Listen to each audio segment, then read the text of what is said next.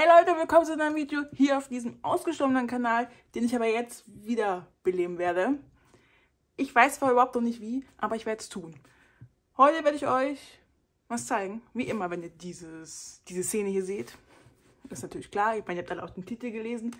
Aber bevor ich das zeige, um was es eigentlich geht, möchte ich euch noch zeigen, was ich noch an Anime gekauft habe. Also ich werde euch heute natürlich ein Anime-Unboxing zeigen, aber ich habe noch andere Anime gekauft und die zeige ich euch einfach hier. Um zu flexen. Nee, einfach nur so aus Spaß. Und zwar habe ich einmal einen Pokémon-Film gekauft. Noch einen Pokémon-Film gekauft. Noch einen Pokémon-Film gekauft. Und noch einen Pokémon-Film gekauft. Woo! Ja, ich habe den neuen Pokémon-Film auf Netflix geguckt und war dann voll in Pokémon wieder drin. Und da ja die vierte Gen, also Diamant und Perl, meine Lieblingsgen ist, dachte ich mir, okay, du musst endlich dir die vier Lieblingsfilme holen. Und in den neuen Netflix-Filmen kam ja Lucia auch vor. Und Lucia Pfaff Charakter in Pokémon, deswegen musste ich die auch holen. Und ich will die Pokémon-Filme vollständig haben. Also fehlt mir jetzt noch der dritte Film und die Rubin und Saphir-Filme. Die fehlen mir auch noch. Aber davon kann ich nur zwei kaufen in Blu-ray. Die anderen beiden sind irgendwie verschollen. Aber egal, äh, das war nicht alles, was ich gekauft habe. Ich habe natürlich noch Scum Swish gekauft. Volume 1, Volume 2 und bam, Volume 3. Bam, bam, war am Angebot. Deswegen habe ich es gekauft. Und der, der Manga ist cool, den habe ich nämlich. Und den Anime habe ich auch gesehen. Damals aber noch auf Japanisch. Und deswegen wird es sich jetzt mal gegönnt, das auch auf Deutsch zu gucken. Damit war es das mit den Sachen, die ich nebenbei noch gekauft habe. Und kommen wir nun zu dem Hauptthema, das es hier eigentlich geht. Und zwar geht es heute um ein Unboxing von der Zero No Tsukaima Staffel 2 Box. Oder der deutsche englische Name The Family of Zero 2. Weil 2 war zweite Staffel. Bam! Night of Twin Moons. So heißt die zweite Staffel, habe ich nie mein Leben gewusst. Aber gut, das jetzt mal wenigstens zu wissen. So, schaffe ich mir ein bisschen Platz. Also der Rest kommt weg. Hier ist die Box. Ich habe schon ein Unboxing zu der ersten Staffel gemacht. Falls ihr das nicht gesehen habt, werde ich hier nochmal was wiederholen. Und zwar ist Zero no Tsukaima. Ich werde es immer Zero no Tsukaima nennen. Das ist schon mal, damit ihr schon mal wisst, ja, mit diesem Namen bin ich nicht groß geworden. Für mich ist einfach Zero no Tsukaima. Also, für alle, die es nicht wissen, Zero no Tsukaima ist einer meiner absoluten Pfaff-Animes all time. Das war nach der Pokito-Zeit einer der allerersten Anime, die ich geguckt habe. Das war auch das allererste Mal, dass ich ein Anime mit Subtitles geguckt habe. Mensch, die Zeit damals. Und ich weiß noch ganz genau, es gab diesen Anime nicht mit deutschen Sub. Also musste ich auf Englisch, was ich damals überhaupt nicht gut konnte. Und aber Gott sei Dank gab es noch spanischen Sub und das konnte ich. Und deswegen war spanischer Sub meine Rettung. So konnte ich diesen Anime gucken damals. Natürlich habe ich es nachher dann ein bisschen nachgeholt nochmal mit englischen Sub und jetzt hole ich es nach mit deutschen Dub. So, so ist die Welt. Also mein absoluter Pfaff-Anime, einer meiner Pfaff-Animes. Gibt es noch was zu sagen? Nö, ich glaube nicht. So kann ich jetzt also euch die Box präsentieren. Hier ist die Innenseite mit dem Namen. Hier steht nochmal der Name. Seite genauso. Unten ist nichts. ohne auf der Rückseite oder Vorderseite, wie man es sehen möchte, ist ein Artwork zu sehen.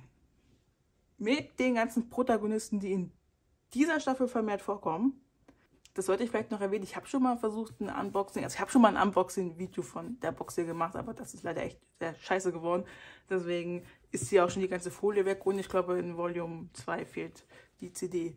Nur damit ihr schon mal wisst. Aber jetzt kommt dafür ein viel besseres Video, weil das hier ist besser. Ich hoffe doch, es ist besser. So, holen wir also die ganzen CDs raus, die Boxen hier. Fangen wir an mit Volume 1, das ist natürlich klar. Äh, Volume 1, eine Seite mit Luise und ihren Geschwistern. Und hier ist nur Luise mit einem Buch. Alles klar. Und machen wir es auf. Hier ist noch ein kleines extra Buch mit dabei. Also ein paar extra Seiten, die kennt ihr ja. Hier ist erstmal die CD.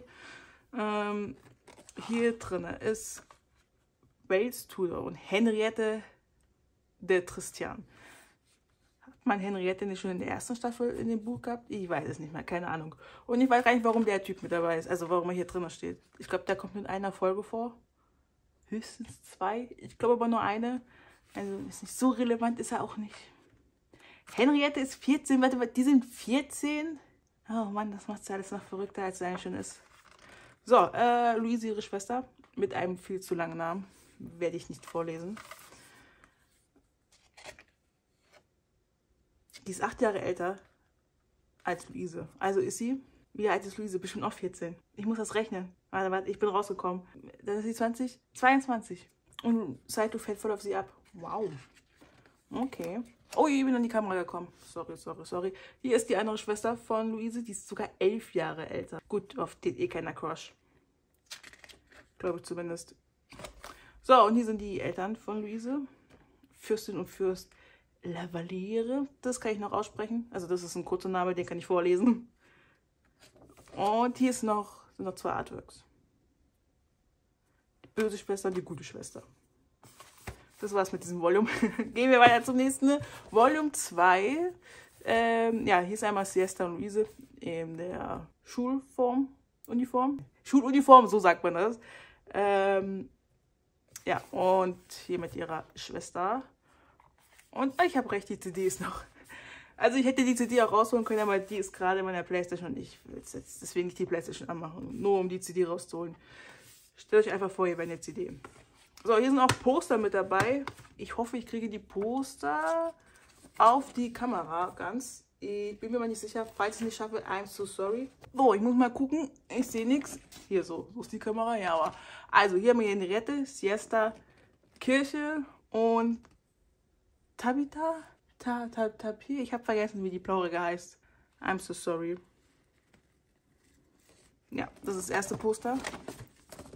Tabitha? Tapir? Ich hab's vergessen. Ich weiß es nicht. Ich hab's doch erst letztens geguckt. Aber ich glaube, ihr Name ist noch nicht so ganz in Erwähnung gekommen. Ich glaube, die wird sowieso in der dritten Staffel relevant. So richtig relevant.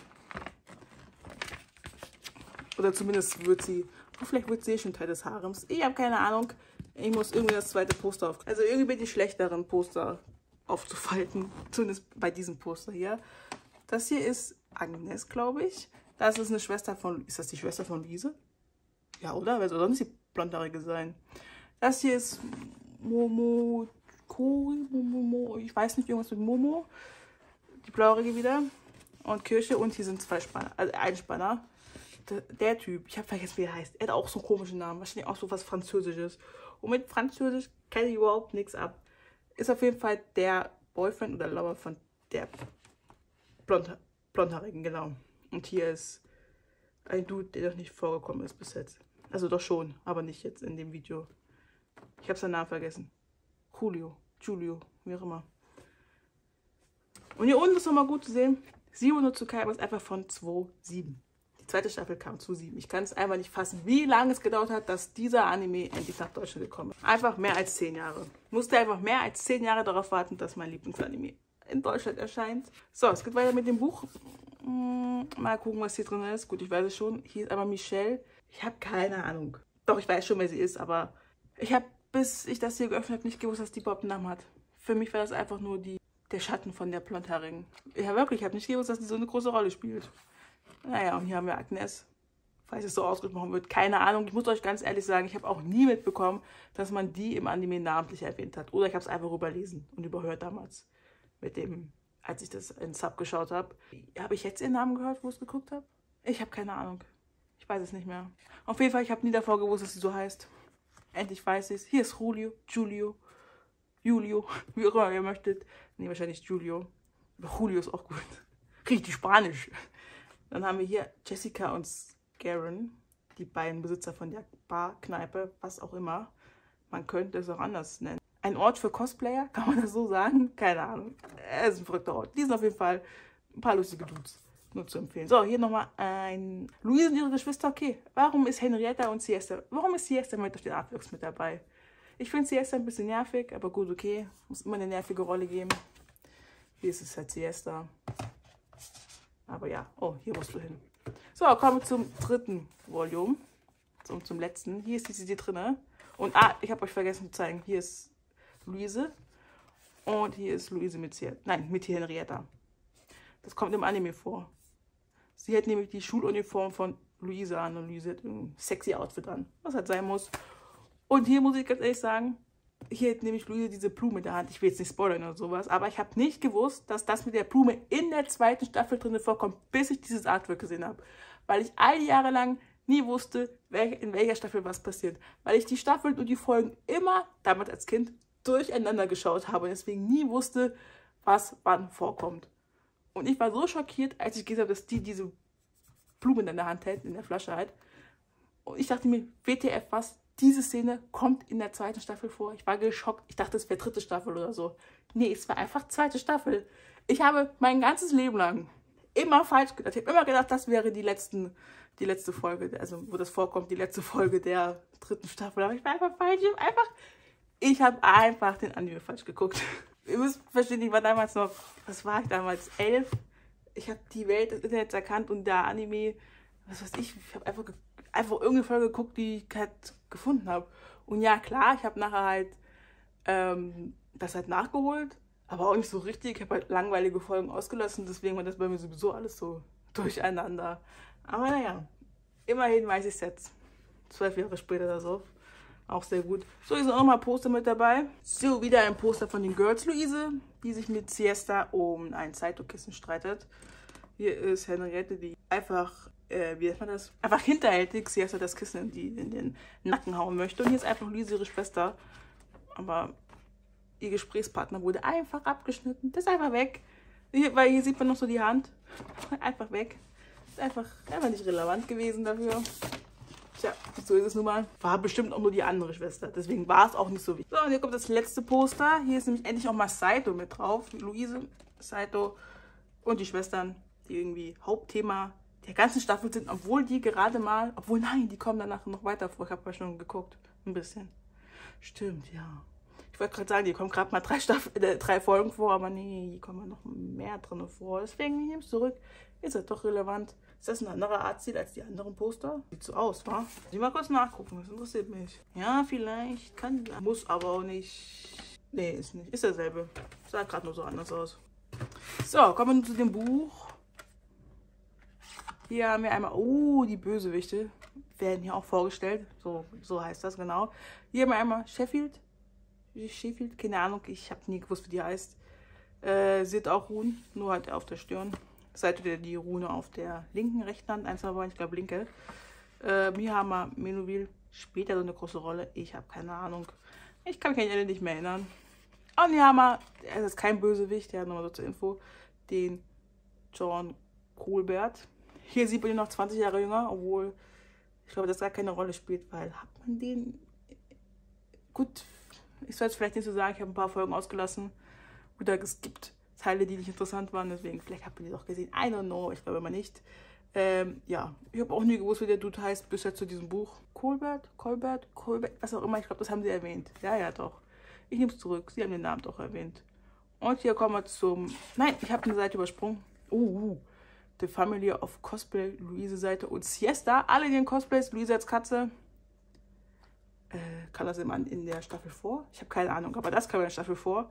Nämlich Siesta in Matrosenschuluniform. So hat das Saito genannt. Matrosenschuluniform, genau. Äh, Siesta als Hase und natürlich Saito als Hund, denn er wird von Luise auch immer nur so beschimpft als Hund. Und das ist mir eigentlich aufgefallen, bis jetzt zu dieser Staffel. Er sagt immer, bitte nicht, Gewalt ist keine Lösung. Mir ist nie aufgefallen, dass er das im Japanischen auch so gesagt hat. Aber hat er wahrscheinlich nicht so gesagt. Man hat es im Deutschen einfach nur so übersetzt, weil klingt besser. Und dann kommen wir zum Artwork. Alle Girls in einem Cosplay. Dass sie sowas anhat, ist, das passt irgendwie nicht. Einfach gut, wen hätten die sonst nehmen sollen? Naja, das war's mit Volume 3. Somit war es auch mit diesem Video. Ich packe erstmal alles zusammen, Leute. So, alles wieder drin. Meine Box ist halt ein bisschen kaputt, wie hier und hier. Und hier ist es auch irgendwie so krumm. Deswegen gucke ich, dass ich das immer halbwegs ordentlich reinbekomme. Dass das nicht noch mehr kaputt geht. Äh, ja. Hm, okay, hier muss es jetzt so lassen, es wird nicht besser.